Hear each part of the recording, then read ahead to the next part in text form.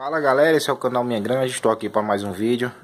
Aqueles que não são inscritos, se inscreve aí no canal, deixa o seu like. Estamos querendo aí, se Deus quiser, fazer com que esse canal cresça.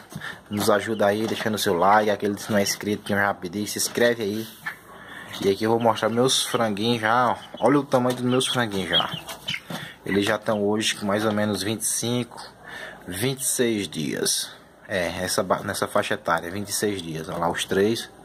E aqui eu tive que tirar eles da caixa, porque quem vem assistindo os vídeos aí sabe, eu tava colocando eles mais confinados numa caixinha e para poder eles não correrem muito, ficarem esforçando muito e acabar sendo inútil dar ração para eles, porque se eles se exercitam muito, eles acabam perdendo muita caloria aí e não chega ao peso ideal. Aí olha os tamanhos dele. Se você está aqui acompanhando esse vídeo, amanhã eu vou estar tá postando mais um vídeo, só que dessa vez eu vou estar tá fazendo a pesagem deles.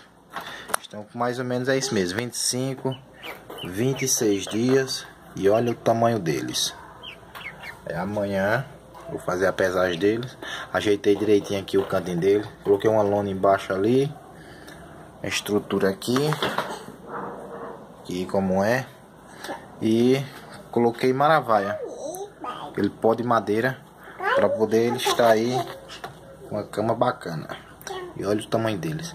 Gente, se inscreve aí no canal, deixa seu like aí. Esse canal Minha Granja aí, se Deus quiser, vai se um canal grande. Se Deus quiser também, eu vou estar tá podendo montar minha própria granja. Não só de frango de corte, mas também a, é, é a granja de galinha poedeiras. Se Deus quiser aí.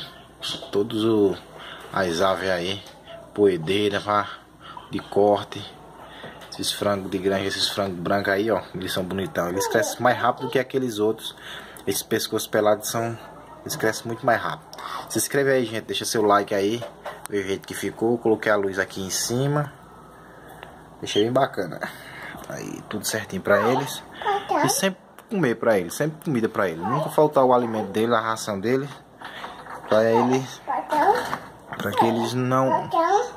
Não deixe de fazer o crescimento, eles não atinjam o crescimento total, aí a gente às vezes para de colocar ração, eles diminui também a quantidade de comer, porque eles se acostumam muito rápido. Aí colocando ração todos os dias, eles acabam atingindo aí um peso bacana, o recomendado. E olha o tamanho deles. Eu vou amanhã pesar pra vocês, gravar outros vídeos. Se Deus quiser aqui, tá postando aí, gente. Se inscreve no nosso canal, deixa seu like. Aí é uma coisa simples, mas logo, logo vamos estar tá também comprando mais e mais. Valeu, gente. Se inscreve e deixa seu like.